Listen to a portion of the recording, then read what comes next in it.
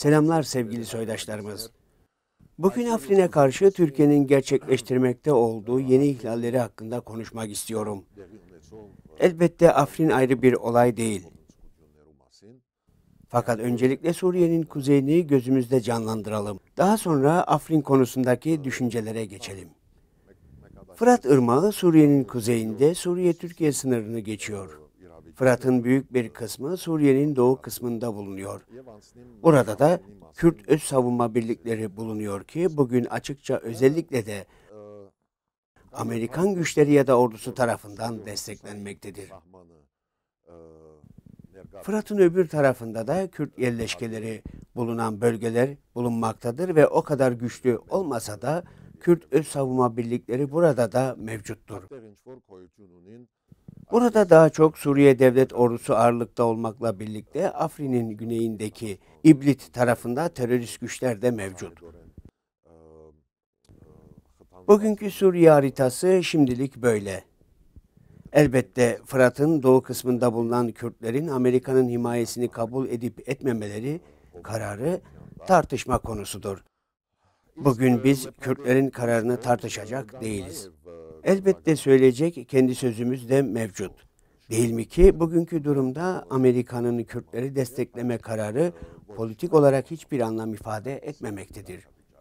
Sadece politik bir duruşu ifade eder ve bunu Amerikan tarafı İslam devletini bu güçler yok etti diyerek netleştirdi. Evet, Kürt güçleri İslam devletini yok etmede yeterince rol üstlendiler. Evet ama temel görevi müttefik güçlerinde desteğiyle Suriye ordusu gerçekleştirdi. Birkaç gün öncesinden Kürtlerin yardım çağrısından sonra Amerika'nın olumlu yaklaşımda bulunması elbette İslam devletinin yok edilmesi konusunda bize de böyle bir rol verin, böylece görüşme masasına geri dönüp konuşmak için belgemiz olsun amacı taşımaktadır. Müttefiklerin yardımı ve desteğiyle Suriye ordusu kendi topraklarında yeterince zaten askeri başarılar elde etti. Özellikle de Derzor'un kurtarılmasından sonra Derzor, Abu Kemal ve zaten güney kısmı yeterince güven altında. Suriye'nin orta kısmı olan Homs, Hama, Halep'e kadar ve Halep çevresi deniz kısmı zaten güven altında. Böylece Afrin bugün Türkiye için görüşme masalarına bir kez daha geri dönmede tek bir çıkış yoludur. Suriye Devlet Ordusu'nun bu coğrafyada konumunu güçlendirmesiyle dış güçlerin görüşmeler sırasındaki müzakere ve politik düzenlemelerinin kartları daha da azaldı. Türkiye bunu kendine göre olumlu bir adım sayarak Afrin'e saldırmaya karar verdi. Bizi ilgilendiren Afrin'in sadece Kürtlere karşı bir saldırı olduğu değil, Orada Ermenilere de kesin bir mesaj var. Afrin, Ermenilere yapılan soykırımdan önce ve hatta binlerce yıllar öncesinde, geçmiş ve yakın zamanımızda Ermenilerin hayatında çok önemli rolü bulunan bir şehirdir. Son dönemde Suriye Savaşı sırasında ise pek çok Halepli Ermeni iş adamları oradaki sakin hayat nedeniyle kendi faaliyetlerini Afrin'e taşımışlardı. Türkler Afrin'i bombalamaya ve işgale karar verdiler. Bugün iki hafta geçmesine rağmen istedikleri gerçekleşmedi. Fakat başarıyla gerçekleştirebildikleri tek şey 3800 yıllık Ayndara Antik Tapınağı'nı bombalamak oldu. Burada 3800 yıldır ayakta kalan tapınak kalıntılarının %90'ı yok edildi.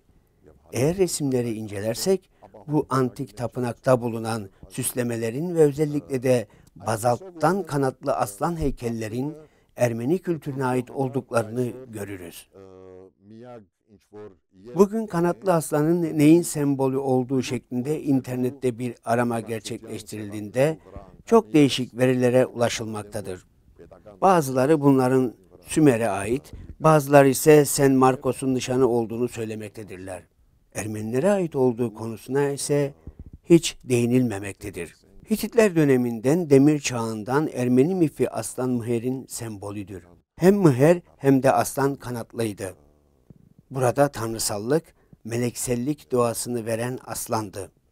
Öyle ki bizim tarihimizde, bizim tarih bilimimizdeki veriler içerisinde bütün medeniyetler tarafından kullanılan kanatlı aslan, Ermeni orijinli aslan mühere dayandırılmaktadır. Bu gerçekliği elbette Türk tarafı da çok iyi bilmektedir. Buradan önemli noktaya değineceğim. Afrin'deki savunma güçleri Kürt güçleridir ki, bugün Kürtler kendi kendilerine bu güçlerin katıksız Kürt güçleri olduğunu söyleyememektedir. Bu güçler içerisinde hizmet eden gençlerin büyük bir yüzdesi Ermeni kökenli Kürtleşmiş Ermenilerdir. Bugün bu gerçeği Halep halkı çok iyi bilmektedir. Ermenilere yapılan soykırımdan önce de orada Ermenilerin var olduğunu ve soykırım sırasında kurtulan Ermeni göçmenler için burasının sonraları Halep ve Şam'a gidilecek bir barış noktası olduğunu da ayrıca çok iyi bilmektedirler. Bu 70-80 yıllar öncesinde kurtulan Ermeni kadınların çokları bu zorunlu koşullar altında kurtulmak için Kürtlerle evlendiler. Pek çok Ermeni Kürtleşti. Yaşayabilmek, Türklerin zulmünden korunmak için kendisini Kürt olarak takdim etti. Ayrıca Batı Ermenistan'da Türkleşti, İslamlaştı, Kürtleşti. O zamanlar 100 yıl önce katıksız Kürtler varken bugün Kürtlerin çoğunluğu gelin dostlar şimdi doğru yaklaşalım. Bugün Kürde Kürt deyip geçmeyelim. Evet, Ermenilere uygulanan soykırım sırasında Kürt Hamidiye alaylarının ne gibi rol oynadığını biz çok iyi hatırlıyoruz. Kendileri bölgenin yerli otokton halkı olmadıkları halde devlet kurma gibi kendi hayallerini gerçekleştireceklerdi. Kendilerinin en eski hatırlanması bin yıldan fazla değil. Kendilerinin Suriye'nin kuzeyine ve Batı Ermenistan'ın güneyine kitlesel göçü 16. yüzyılın başlarında gerçekleşti.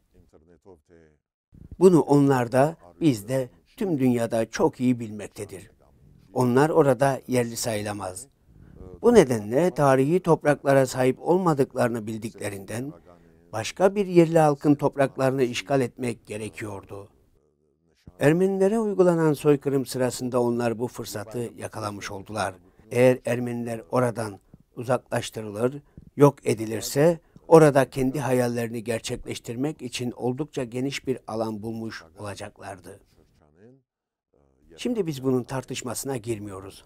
O zamanlar öyleydi.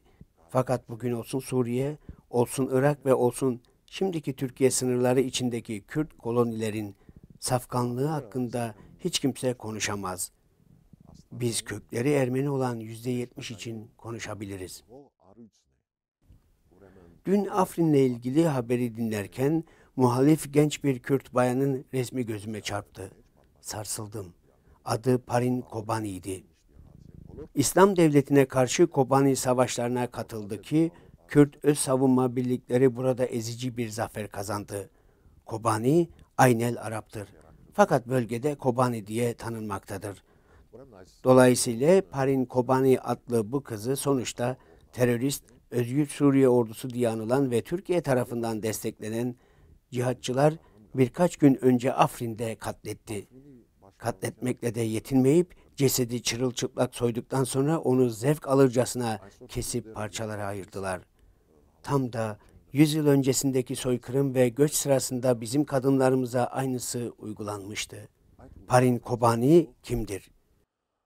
Gözlerinin içine biraz dikkatlice bakın. Bir de onun gülüşüne bakın. Kendi ninesine benziyor mu, benzemiyor mu? Bugün Parin Kobani'nin Kürt ya da Ermeni olduğunu kim söyleyebilir? Ne demek istiyoruz? Bugün Türk güçleri ya da düşünce yapısı devletçi, Kürt karşıtı kendi politikaları içerisinde çokça Ermeni karşıtı içerik barındırmaktadır. Ne hakkında konuştuklarını, kime karşı mücadele verdiklerini, kime karşı düşmanlık beslediklerini ve kimi ne pahasına olursa olsun yok etmeyi onlar çok iyi bilmektedirler.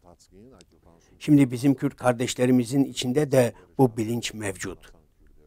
Pek çok Kürt Ermeni kökenli olduğunu biliyor.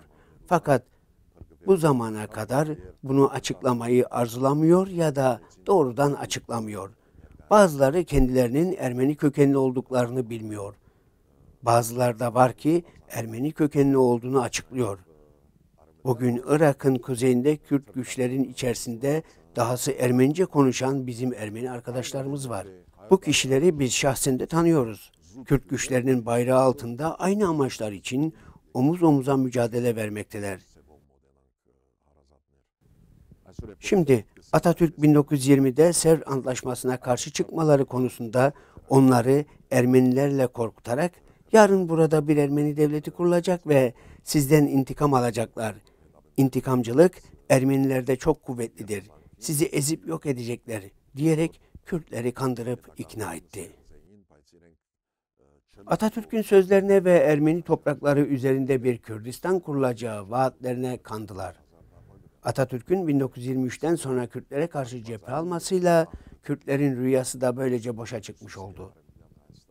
İlkin bu topraklarda Kürtlerin de yardımıyla Ermenilerin devlet kurmasını engelledikten sonra ikinci olarak da Kürtlerin bu hayallerini yok etti. Dolayısıyla Kürtler o zamanki Ermenilerin güvenini kaybetti ve Türklerle de düşmanlaştılar. Bugün bizler dış güçlere tekrardan nasıl güveniyorlar diye şaşırmaktayız.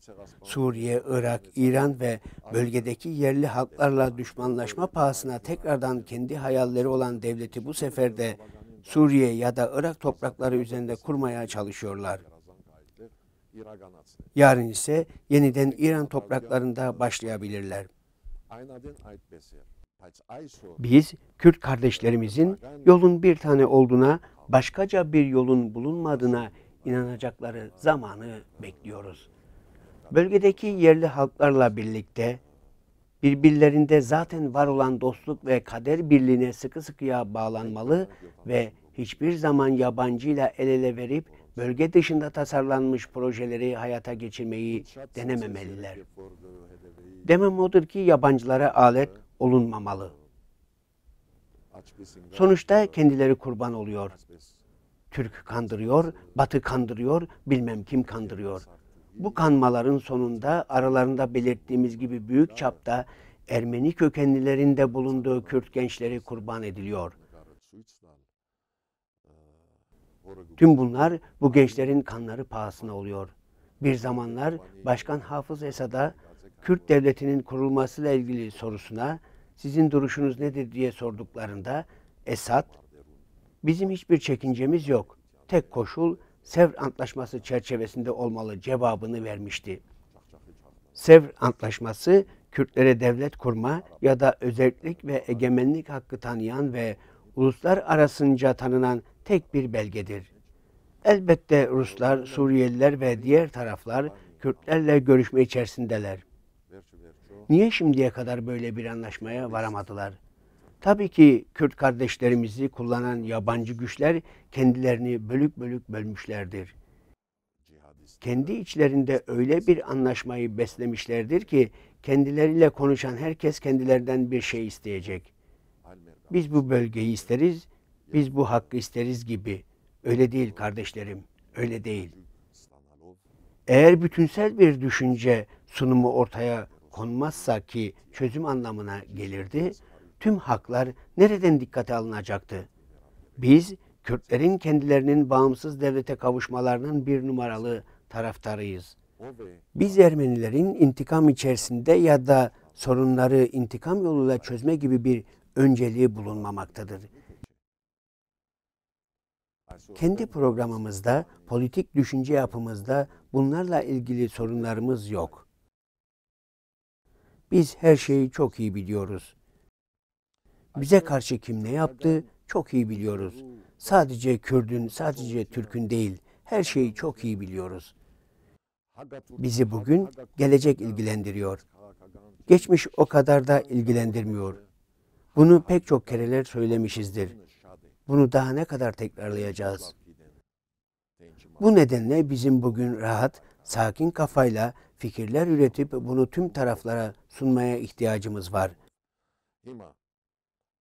Batı Ermenistan Cumhuriyeti'nin politik stratejisinde elbette benzer program ve projeler mevcut olup bunları biz bugün büyük bir arzuyla tüm problematik taraflara ve özellikle Kürtlere sunuyor ve sunmaya da devam edeceğiz ki kendi yüce ve sorunsal çıkarları nerede bulunuyor anlasınlar. Bu çıkarları hem kendi halkları hem de diğer ulusların hakları ve onların da başında Batı Ermenistan Ermenilerin hakları gelmektedir. Bölgenin halkları ve devletleriyle birlikte gerçekleştirmektir. Bu program ve bu yaklaşım bizde çok nettir ve tüm taraflar için yararlıdır. Eğer kimler için yararlı değilse onlar da kendi sorunlarıyla uğraşsın. Bu sözümle yerlileri kastetmiyorum. Programımız yerlilerin hepsi için yararlıdır. Sonuçta benzer bir program sadece Orta Doğu için değil, Kafkasya'dan başlayarak Mısır, Arap Körfezi'ne kadar geniş bir bölgede nihai barışı ve istikrarı getirecektir. O beş denizler içerisinde bulunan bölge barış ve istikrara kavuşacak. Bugün biz herhangi bir programı geçici olarak gerçekleştirebiliriz. Nasıl ki Kürtler 25 Eylül 2017 tarihinde referandum gerçekleştirdi. Onlar bağımsız bir devlet kurmak istiyorlardı. Kuzey Irak'ın halkı yüzde 96 ile evet dedi ve nokta. Dostlar, programları kağıt üzerine yazabiliriz. Temel olanı iki noktadır. Birincisi o program ne kadarla hayat bulabilir? Ne kadarla gerçekçi olabilir? İkincisi ne kadar sonuçsaldır? Önce hayat bulacak, daha sonra o hayatın sürekliliği bulunacak. Biz herhangi bir bölge için özgür, bağımsız Batı Ermenistan diyebiliriz. Yapabiliriz. Bunun için birkaç milyon imza da toplayabiliriz. Aynı şekilde Kürtler. Bu nasıl hayat bulabilir, gerçeğe dönüşebilir ve eğer bir an silahla ya da uluslararası güçlerden her türlü destek alıp devletin gerçekleşeceğini düşünelim. Bu ne zamana kadar hayatta kalabilecek? Bu iki noktalar çok önemli ve bu iki noktaların çözümü ya da cevapları program içerisinde işlenmiştir.